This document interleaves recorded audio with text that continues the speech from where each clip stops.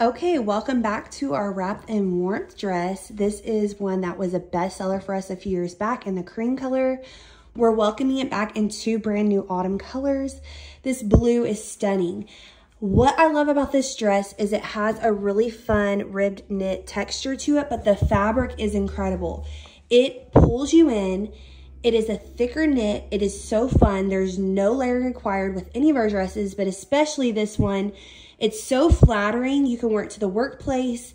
You can wear it dressed down with tennis shoes and a hat. You can wear it dressed up with heels to church. This dress is extremely flattering. It was a part of our comfy and cozy collection, and it is still just as comfy and cozy as it ever was. So grab yours. I'm in my normal medium, and it pulls me in so good. It's so flattering. There's pockets.